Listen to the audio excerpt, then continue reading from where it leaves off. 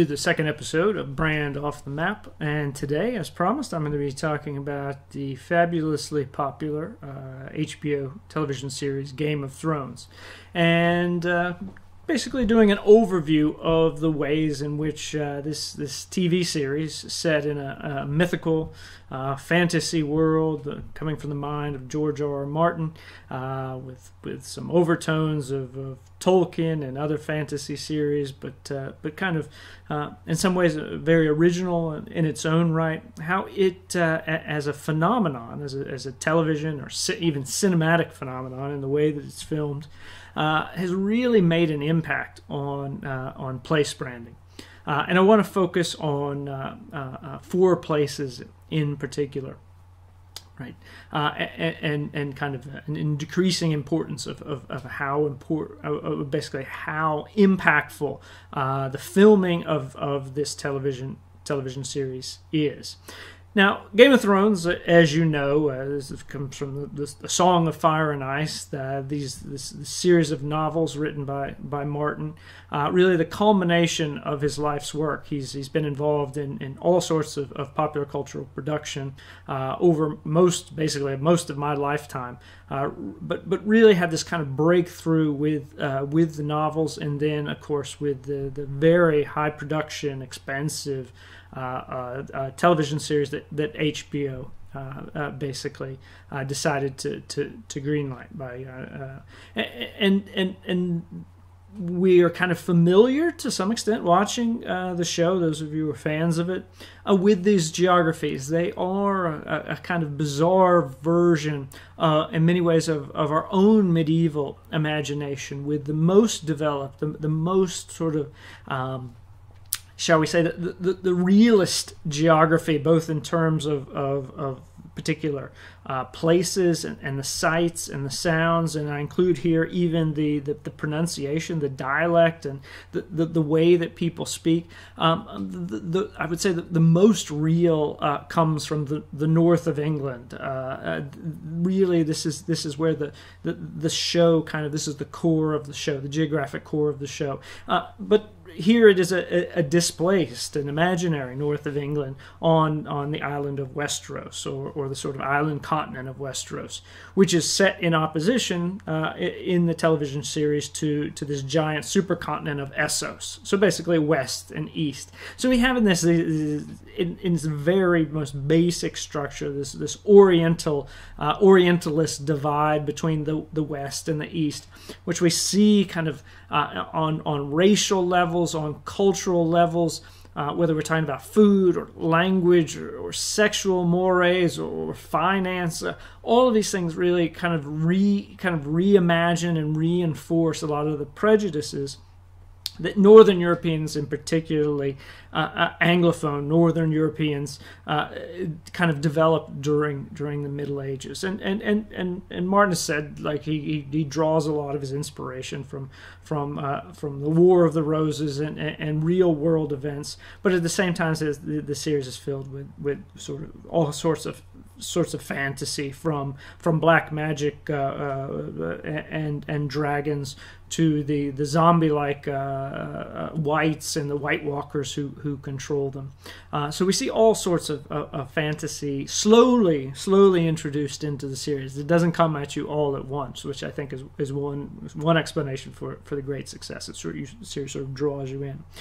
But but what do we want to talk about today? We want to talk about today the places where the series was filmed right? Which in turn has has driven this massive, massive uh, screen uh, uh screen tourism phenomenon uh, that, that we've increasingly associated with the with the 21st century. Particularly, it's it's really grown in strength, uh, at least in terms of television, moving beyond film as a, as a, as a place to see. I mean, you know, talking about my own you know, sort of background in the United States, you know, people would go to Philadelphia and they would go and mimic sort of rocky climbing, you know, climbing up the steps uh, uh, and, and and they would walk down the streets of New York and and maybe uh, you know engage in some sort of Woody Allen type banter on, on the streets of New York or you know these sorts of films. Um, anyone goes to Hollywood, there's just, just far too many you know, far too many uh, options there uh, there at your disposal. Um, but what we're talking about here really is is now television kind of emerging as as really the popular cultural form uh, uh, that is the most important in the world that we live in today. And the the French geopolitician Dominique Moïsi has even gone as far as to say it really is the you know the popular cultural form that meaning that it has tr- transcended film in terms of its ability to, to impact sort of our everyday imagination about the world out there. And he points to game of thrones in particular alongside some other television series such as the, the norwegian uh, near future series occupied uh, and, and the netflix series house of cards as, as, as shows that tell us really about the world as as we feel it to be, and particularly about our fears in, in the outside world. And, and, and, Game of Thrones fans know there's there's lots to lots to be fearful uh, in, in, it, not just dragons and, and black magic, but really the dark hearts of, of, of men, right? These these evil deeds that are and, and just malicious deeds that are done done by by people in the series. So I've been I've been uh, over the winter I've been uh, rewatching uh, the series in its entirety with a particular focus on on places where it's been filmed. Now, as you as you might have gleaned, I'm a, I'm a huge fan of of the series. I've, I've written about it uh, on numerous occasions in the past, and, including uh, analyzing some aspects of, of sort of popular religion and how that manifests uh, in in the film. I've also written about sort of the, the international relations, uh, sort of theories and, and, themes that are that are embedded. Um, I mean, many people have written about this, but embedded in, in the series and, and sort of what you know what what what it all means to us. But like I said, in this particular uh, episode, I want to talk about about place.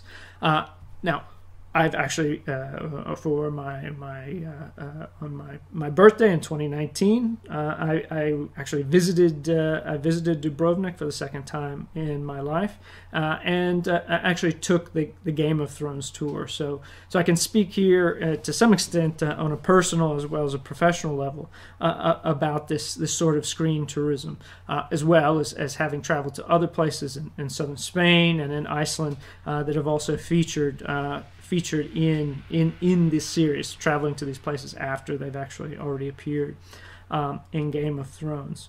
Um, Northern Ireland uh, is a place where they've really seen the most uh, sort of tangible and, shall we say, positive effects um, um, from the series. Much of the series is filmed uh, filmed in Northern Ireland, and the, and the, and the, the, Northern Irish state has, has been very, you know, sort of um, engaged with this process, looking at a way to kind of carve out a, a very niche form of, of tourism, right? Uh, uh, for Northern Ireland, it, it's kind of stuck between a rock and a hard place in many ways. Uh, people would like to get the, uh, often travel uh, from the United States or other places for Irish heritage purposes, but tend to go to the Republic.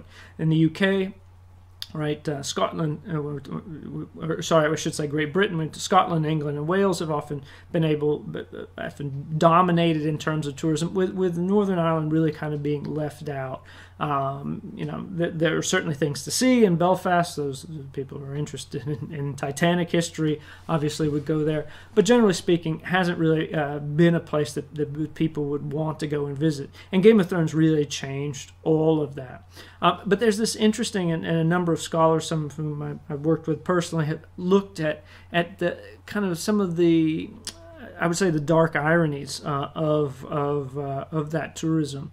Uh, and, and, I'll talk about this a little bit in my own experiences, having having traveled to uh, to Dubrovnik in, in 2019, and also having been there in, in 2000, and, my own background as, as a as an earlier scholar in my, my life of being a, a, historian and, and focusing on the, on the Balkans and and remembering very well and, uh, and, and the events of 1990 91 through 1994 and, and the impact on the region. So there is this this history of violence, right? both in Northern Ireland and uh, and in Dubrovnik, uh, upon which the, the series kind of overlays and, and interlaces with, um, and, and and it's interesting how in some cases this this the the, the actual violence that take, takes place in these places is kind of swept away, kind of pushed up under you know up under the carpet, uh, even though it could really be could be folded very much into these uh, these tours, right, as, as they are designed uh, to, to bring people in, in contact uh, with these these imaginary battles, and heroes and villains that they've seen. So, as I said before, Northern Ireland really has seen an influx of people looking to go and, and be in those places where you know where, where they've seen the Starks and the Lannisters and the Greyjoys and, and all of these these houses of, of Westeros. Um, so, so like I said, Northern Ireland kind of functions as the as the north of, of England here in, in the real world, right? With a similar look of the geography and a similar feel and the, the kind of right types of castles and the right amount of green space and the right amount of access to, to rivers and oceans and lakes, etc.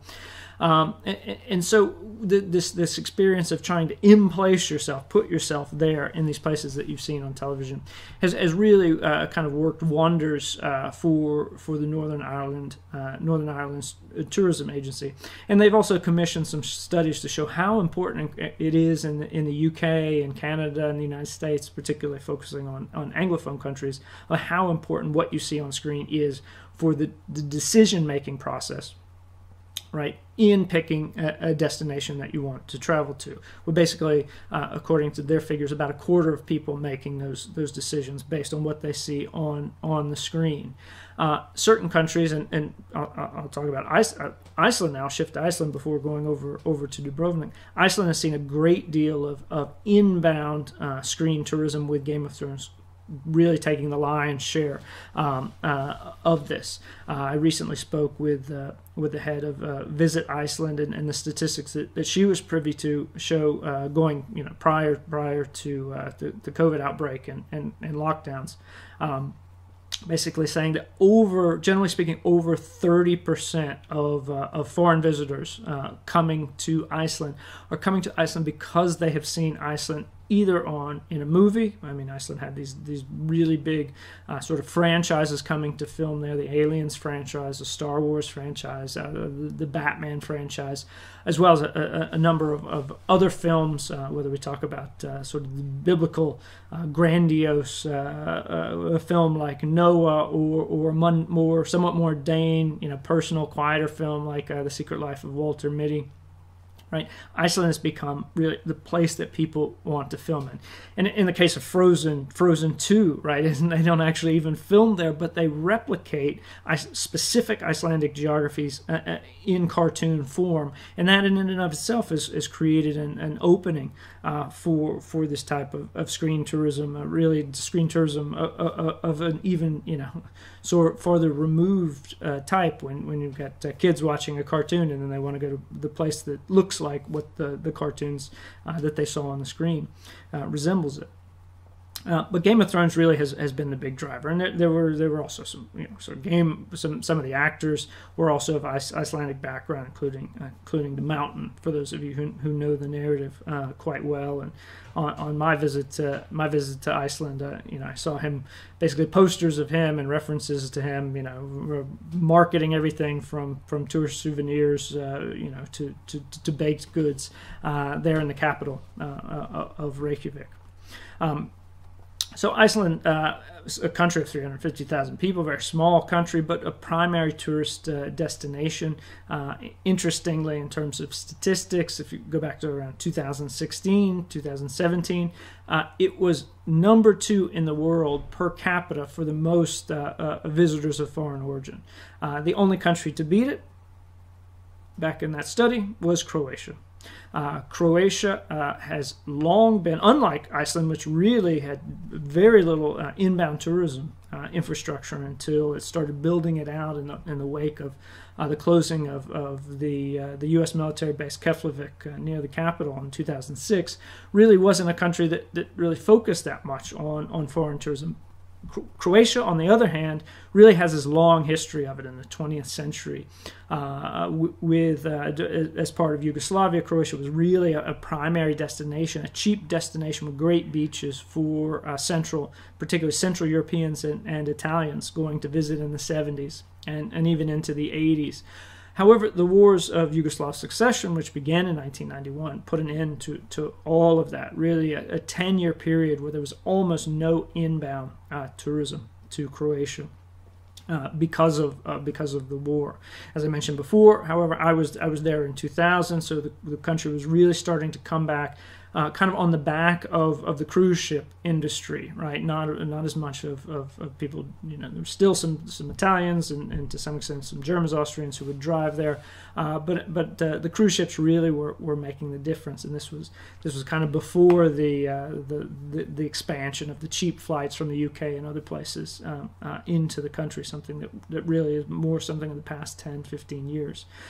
But building on top of that, with all of the filming that's done in, in, in you know, the, the, basically in the, in the, King's Landing and the, quote unquote capital city of Westeros, uh, and so many familiar images of the uh, uh, of the coastline, of the fortifications, of the gardens, um, all of these things. It just if you watch the show, constantly, constantly, constantly being embedded right in the mind of the viewer. Uh, an interesting side point: Croatia uh, uh, really was kind of the second choice for this. The, the, beginning of the series, they were actually filming in Malta, uh, but Malta being a very very small island uh, with a, with a very sort of um, uh, tenuous ecosystem, had made some made some deals with HBO about the filming process and, and, and, and sort of the attention that would be paid to making sure not to damage the uh, damage the environment, particularly the coastal environment, and some guarantees that were made by HBO about what they would do post filming. Uh, basically did not honor these agrees. And so eventually we, we start to see early on this environmental degradation that, that's resulting from all these people on, you know, basically on site um, filming there. And Malta basically said, said to HBO, you know, get out of here, find another place. And it was coincidentally um, with some some some tourism on the part of some of the the, the actors and, and, and people in the production of the show who had flown over to Croatia, uh, suggesting, hey, this could this could work just as well. Uh, and, and, being a much larger country and a country uh, that, that, really was looking to rejuvenate that that tourism industry, uh, it ended up uh, working out quite well. Um, however, if you if you go there now and you and you talk to Croatians, particularly in Dubrovnik, which is the, the focal point of of, uh, of this this Game of Thrones screen tourism, uh, they're they're really disgusted with with what's happened, um, and because the cruise it's still this cruise ship based tourism, so the cruise ships uh, drop off people wander in uh, into the city looking to buy their uh, to, to, to buy their Game of Thrones souvenirs and then trundle back out again. And, and in local parlance, they're referred to as the White Walkers, basically these uh, these untanned tourists uh, who, who really don't know what they're doing. You know, basically mindless masses wandering around about in the walled city center and then disappearing uh, as quickly uh, as they arrive. So there really has, has developed this this organic prejudice towards uh, these these types these types of tourists uh, within within the walls of um, uh, uh, of Dubrovnik.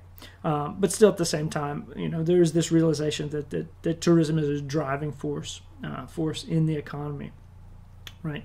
Um, so these these are just some of, of, of, of, a great many examples that, that Game of Thrones shows. I mean, you also have uh, tourism uh, to southern Spain, another place that is kind of shaped by this long history of of, of intercultural violence, but also intercultural cooperation between uh, between the Jews, the, the Jews, the Muslims, and the Christians uh, during during the medieval periods.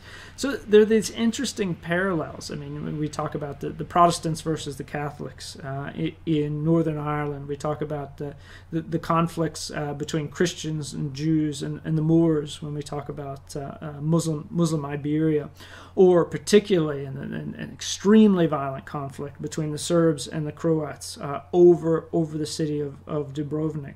Uh, it's it's kind of inter- it was interesting on a personal level for me because when I first visited in 2000, much of, of the tourist infrastructure really focused on kind of that that history, right? To, to tell the foreign visitor this is what happened to our city during the bombardment. That that we had all of these these perfectly in you know each individually unique uh, tiles these, these the, the, tiles that you recognize this, this, this clay uh, sort of brightly colored uh, reddish you know rusty red uh, tiles each one of them made over the man of, of uh, made over the thigh of the, of the man who placed them there, right? So each one was individual in its own way, and these uh, vast majority of these had been destroyed by by the bombing from from the heights, uh, from from the cliffs around there by the the Yugoslav army. Basically, there's also been a renaming since then, and, and now specifically referred to as the Serbs and the Montenegrins. So we've even seen sort of in, in the geopolitical, in the nomenclature, things have changed over time.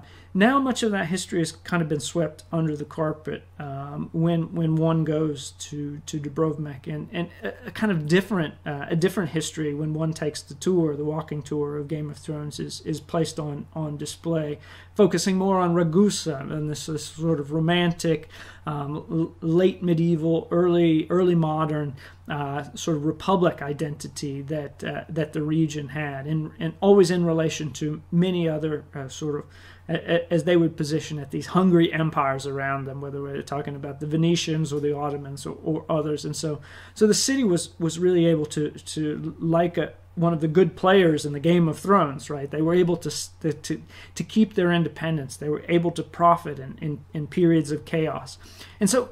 It, it's interesting how the city itself is, has, has begun to to rebrand and, and to in terms of its own placemaking has been changed by this relationship right? With uh, with a fantastical artifact, right? With a, with a series of novels that becomes a, a, a, television show on, on HBO, and and how we, we take identity and, and we kind of massage it and manipulate it over time by, by different inputs, and and I think it really shows that the the power of, of cash, the, the neoliberal power that, that, that everyone grapples with uh, in in the 21st century um, that, that, that how important you know what other people think and, and, is into what you think about yourself or at least what you say you think about about yourself um, and so we see now with more and more focus you know screens are, are, are everywhere all the time in our life right? you know we still use the word television but we really need to evolve i think uh, beyond that because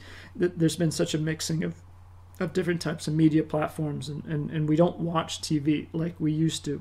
But, you know, generally speaking, I mean, television really has uh, uh is making an increasing mark uh, on, the way that we see the, the world around us. I mean, it has moved away from really, you know, kind of an earlier era, the golden era of TV, which was really kind of cheaply uh, cheaply made and uh, didn't have real set. You know, there, there, was never filmed on site, and uh, you know the, everything was cardboard and artificial. And now, with with the changing technologies of, of, of, production, we're seeing these much more grandiose types of of, of, series evolving over time that are that are filming on location that that are taking time uh, with the narratives. You know, with these these long shots uh, uh, of the landscape or the cities and, and things that you would only have expected to see in film 10, 15, 20 years ago now are, are commonplace in, in the, the, types of shows that we watch. And, and that really does have uh, a trickle down effect on, on the places where they're filmed, uh, whether we're talking about uh, Rome, Shanghai, or, or Rio de Janeiro. Uh, so, with that, hopefully, some, some food for thought, and uh, see you next time.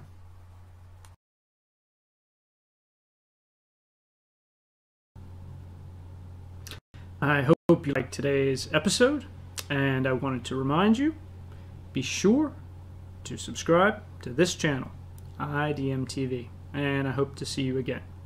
Ciao for now. Bye.